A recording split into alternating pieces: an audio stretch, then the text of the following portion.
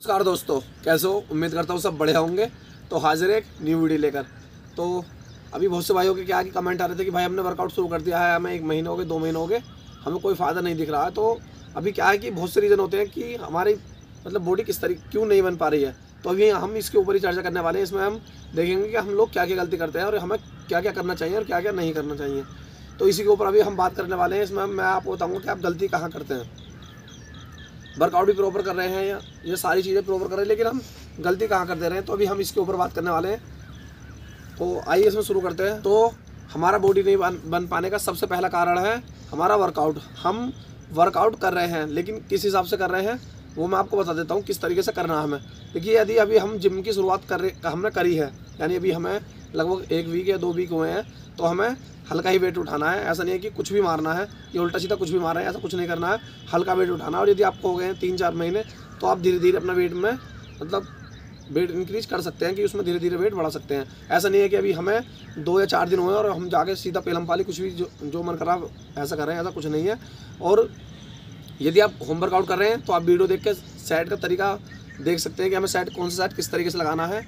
और यदि आप होम वर्कआउट नहीं कर रहे हैं, आप जिम में जा रहे हैं तो आप वहाँ पर आपका कोई सीनियर है सीनियर दोस्त होता है, जिम में सीनियर लड़का होता है, उसे देख सकते हैं या कोच से अपने पूछ सकते हैं। तो पहला कारण हमारा यही है कि हमें वेट का बहुत ध्यान देना है। तो अभी हम बिगिनर हैं तो हम लाइट वेट ही उठाएँ।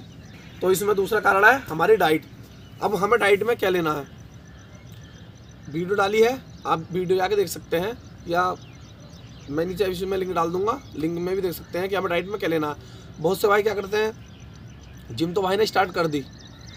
घर पे खा रहे हैं, बाहर गए मार्केट में, चाउमीन वगैरह, बर्गर, पिज़्ज़ा, ये चीज़ बिल्कुल नहीं खानी है, इससे कुछ नहीं होना। और जितनी भी तली चीज़ें इन सब में दूर रहना है। केवल अपनी प्रोटीन वाली चीज़ें लें, या जो चीज़ हमारी मसल्स गेन करती हैं, वो चीज़ें लें। इसमें हमें फालतू में मार्केट से कुछ भी नहीं खाना है ऐसा, या कुछ चिकनाई की चीज़ कुछ नहीं खानी है। इसमें हमारे अपने अंडे, पनीर और चिकन, केले, दूध, दही, ये चीज़ लें। अब इसमें हमारा सबसे मेन कारण है इसमें तीसरा सोना, यानी नींद। अब बहुत से भाई क्या है कि रात को जग रहे हैं बारह एक बजे तक और सुबह वो लोग लगभग वर्कआउट कर लेते हैं पाँच या छः बजे तो पाँच छः घंटे की नींद ले रहे हैं तो इससे क्या कि भाई हमारे शरीर को पूरा आराम नहीं मिल पाता, हमारी बॉडी को पूरा आराम नहीं मिल पाता। अब हमें करना क्या है कि हमें रात को लगभग नौ से दस बजे सो जाना है और फिर वही हमें अपने चार से पाँच बजे उठ जाना है। तो इससे क्या कि हमारी बॉडी को पूरा आराम मिलेगा। अब दिन भर क्या है कि भाई काम कर रहे हैं और रात को लेट सो गए। बारह, एक बजे तक फ़ोन चलाया, उसके बाद सो गए। सुबह जल्दी जाग गए। तो इससे हमारी बॉडी को आराम नहीं मिल पाता, जिससे हम अच्छे से वर्कआउट नहीं कर पाते हैं और हमारी मसल्स नहीं बन पाती हैं। तो ये था हमारा तीसरा कारण। इसमें चौथा कारण क्या है हमारा देखिए, यदि हमें अपनी मसल साइज़ पंप करनी है, यानी कि शरीर को थोड़ा हाँ भारी से दिखाना तो हमें क्या करना है? दिन में कम से कम छः से सात लीटर पानी पिए। इतना हमें पीना ही पीना है और वर्कआउट के दौरान अपने थोड़ा थोड़ा पानी पीते रहें। ऐसा नहीं कि ज़्यादा पीना है वर्कआउट करते ज़्यादा पानी नहीं पीना है। अपने थोड़ा थोड़ा पानी लगभग एक एक दो दो घूट पीते रहें और दिन का कम से कम छः से सात लीटर पानी पिए, जिससे क्या कि हमारी बॉडी में पानी की कमी नहीं होगी, जिससे कि हमारे हमारा शरीर मसल्स हमारे शरीर की जो होती है मसल्स वो हमारे शरीर की मसल्स उभरी हुई दिखेंगी। तो ये था हमारा चौथा कारण। तो भाई, इसमें हमारा पांचवा कारण क्या है? भाई, हम फ़ोन को, हम फ़ोन में गलत वेबसाइट खोल लेते हैं, उसमें हम क्या है कि एक तरीके से मतलब फ़ोन वगैरह ऐसी वीडियो देखते हैं, जिससे दिमाग, आदमी के दिमाग में मतलब गलत गलत चीज़ें पैदा होती हैं और आदमी क्या कि उन गलत चीज़ों को करने लगता है।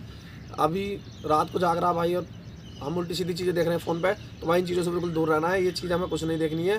क्या है कि अपना हाँ फ़ोन भी है अपना तो केवल अपना वर्कआउट प्लान देखें या कोई कॉमेडी वगैरह होगी तो ये चीज़ देखें, कोई गलत चीज़ ना देखें। इससे क्या कि हमारा ध्यान है, वो हमारे वर्कआउट हमारी डाइट और हमारे मतलब एक पूरी तरीके से हमारे जो जीवन होता है, उस पर ये चीज़ें बहुत असर डालती हैं। तो कोई भी चीज़ फ़ोन में या किसी भी चीज़ में कोई ऐसी चीज़ ना देखें जिससे हमें नुकसान हो। तो ये थे हमारे पाँच कारण ऐसे। भाई, ये हो सकता है कि इसमें से एक दो कारण और भी हों जो आप लोग करते हों, लेकिन हमें ये कोई भी चीज़ ऐसी नहीं करनी है जिससे हमारी बॉडी को फ़र्क पड़े। तो अभी मैंने अच्छे तरीके से समझा दिया, उम्मीद करता हूँ कि सब भाइयों को समझ में आ गया होगा। यदि नहीं आया तो यदि कोई और कारण है, आपको लगता है कि भाई हम डाइट भी ले रहे हैं, सो भी टाइम से रहे हैं, पानी पूरा पी रहे हैं वर्कआउट भी अच्छे से कर रहे हैं तो हो सकता है कि तो भाई वो नीचे कमेंट में मुझे बताए, लिख दे कि भाई हम ये सब करने के बाद भी मेरा शरीर नहीं बन रहा है। तो क्या है कि मैं फिर उसके बारे में सोचूँगा, उसे बताऊँगा कि वो वो और गलती कहाँ मतलब और गलती क्या कर रहा है। तो इस बारे में कोई भी भाई है, यदि कोई किसी भाई को दिक्कत है तो मुझे नीचे कमेंट में कमेंट कर दें, मैं उसका जवाब दे दूँगा। तो दोस्तों, उम्मीद करता हूँ वीडियो पसंद आई होगी।